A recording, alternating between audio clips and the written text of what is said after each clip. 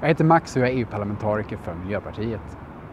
Under mina år här i parlamentet så har jag kämpat för att tygla lobbyisternas inflytande, för att stoppa miljöskadliga handelsavtal och för att drivit på för att miljöfrågan och klimatet ska tas på den allvar som en global överlevnadsfråga faktiskt förtjänar. På mitt initiativ så har EU-parlamentet krävt tuffare regler för kol, gas och oljelobbyisterna i FNs klimatförhandlingar.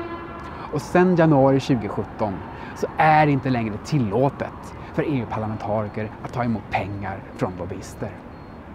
Jag har varit ansvarig och drivit igenom Marrakeshavtalet som syftar till att världens 285 miljoner blinda och synskadade ska få mycket bättre tillgång på böcker som de kan läsa.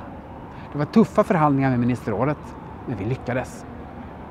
Jag har också varit med om att stoppa förslaget om transnationella listor som skulle ha tagit bort makten att utse EU-parlamentariker från väljare och istället gett det till Europapartiernas ledningar.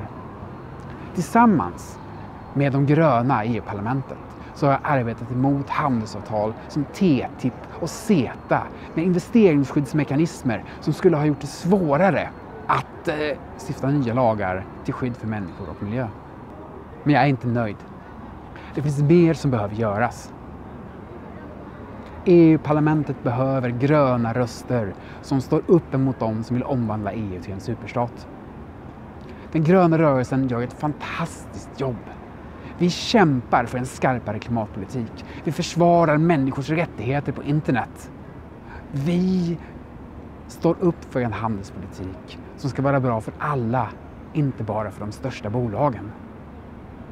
Nästa mandatperiods stora fråga kommer att handla om att försvaga demokratin mot de auktoritära rörelser som försöker undergräva den.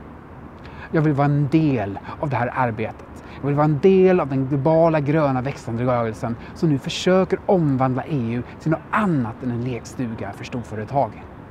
Därför kandiderar jag för Miljöpartiet till EU-valet 2019. Jag hoppas på ditt stöd.